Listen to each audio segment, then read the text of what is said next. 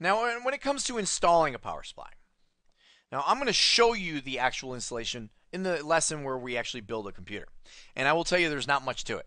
More often than not, it's a matter of sliding it into a chassis and, if anything, screwing in four or six screws to hold it in place. And that's really all you should ever be doing with it. But what you do need to pay attention to is making sure that you're installing the correct power supply. And so, what do you want to pay attention to? Well, number one, you want to pay attention to the wattage. Different power supplies are rated for a different amount of workload.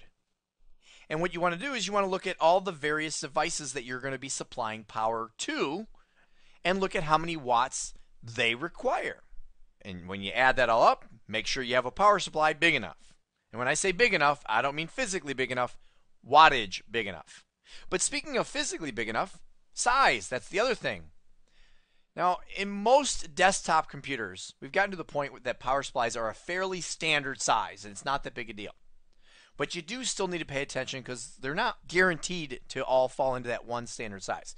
Okay, certain boxes are oversized. Maybe they're designed for high end servers, and you need to have a bigger physical power supply. Typically, and not although not always, the larger the physical size is, the larger the wattage is going to be as well. All right, so you want to make sure that you have the right sized power supply to fit into your box. You want to pay attention to the number and selection of connectors, right? Make sure that you have uh, the selection that you need as far as Molex versus SATA. Make sure you have the right motherboard connector and, and things like that. But make sure you have enough of them. If you know that you're buying a power supply for a computer that has six hard drives in it, well, then you're going to need to make sure that you have enough connectors for those six hard drives. Now, I will also tell you that there are expansion connectors where they're kind of like splitters, where you plug in one and then it becomes two uh, or three additional connectors.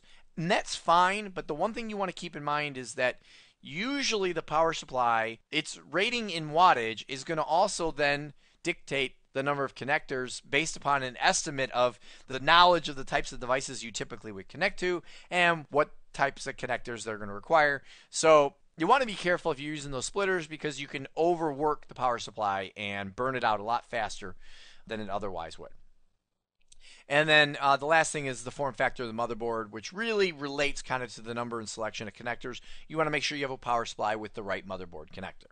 So it kind of relates. Really, just kind of the three items, I guess.